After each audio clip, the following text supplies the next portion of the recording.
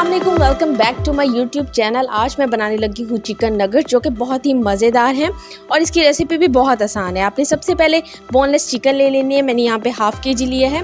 आपने चॉपर में डाल देना है उसके छोटे छोटे पीसीस करके। उसके बाद मैंने एक चम्मच मैदा और एक चम्मच मैंने कॉर्नफ्लोर ऐड किया है। इससे बहुत अच्छे से बाइंड हो जाते हैं। और एक चम्मच मैंने अदरक लहसुन का पेस्ट डाला है। और हंसपे जायका नमक। हाफ़ टी स्पून मैंने डाला है जी काली मिर्च और थोड़ी सी मैंने कुटी हुई लाल मिर्च और एक टीस्पून मैंने डाला है वाइट मिर्च का। आपने इन सारी चीज़ों को आपने इन सारी चीज़ों को अच्छे से मिक्स कर लेना है। ये बिल्कुल अच्छे से फाइन चॉप हो जाएगा।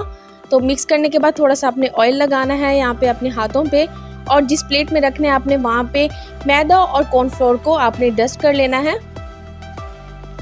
और उसके बाद आप कोई सी भी शेप दे सकते हैं जो आपको पसंद हो। मैं बेसिक नगट्स की शेप दे रही हूँ। इसका टेस्ट बहुत ही अच्छा होता है। मैंने इसलिए ये डाला है कॉर्नफ्लोर और मैदा। अक्सर लोग ब्रेड डालते हैं तो ये उसी का नेमो बदल है कि आप ये चीज़ ऐड कर सकते हैं। अगर किसी के पास ब्रेड नहीं है तो वो कॉर्नफ्लोर और ये डाल दे। मैदा तो बहुत अच्छे से हो जाते हैं। जैसे ये बनेंगे, आपने इसके ऊपर डस्ट करना है कॉर्नफ्लोर और मैदे का।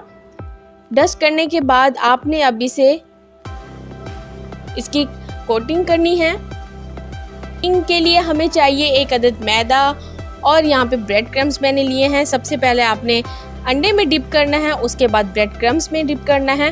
अच्छे तरीके से ब्रेड क्रम्स लगना चाहिए, मैंने आपको घर पे भी बनाना सिखाया है। और ये हमारे नगर्स, हमने इसकी कोटिंग करके ये रेडी हो चुकी। अब हम करने लगे हैं इसे फ्राई। यहाँ पे मैं शैलो फ्राई करूँगी। ये रेसिपी बहुत आसान है, आप लोग घर पे बना के फ्रीज भी कर सकते हैं। और जब मेहमान आए और जब आपका दिल चाहे तो आप फ्राई करके खा सकते हैं। तो ये हमारे चिकन नगट्स रेडी हो चुके हैं। ये बहुत ही आसान रेसिपी है और बहुत ही मज़ेदार।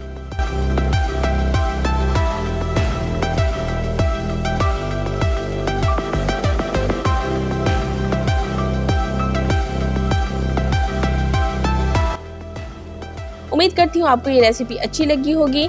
तो ये देखें मैं अंदर से कट करके दिखा रही हूँ। ये बिल्कुल वैसे है जैसे हम किसी कंपनी के लेते हैं। ये देखें माशाल्लाह, आप लोग केचप के साथ खाएँ और इंशाल्लाह मिलेंगे नेक्स्ट रेसिपी के साथ। तब तक के लिए अपना बहुत ख्याल रखें